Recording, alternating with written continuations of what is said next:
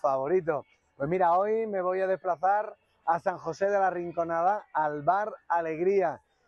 Fieles seguidores del Día del Betis del Informe Botello, en especial Vanessa y Bader. Para ellos, desde Colombia, desde Cali, el mayor de los abrazos en esta Women's Cup que está a punto de comenzar. Nos vemos muy pronto.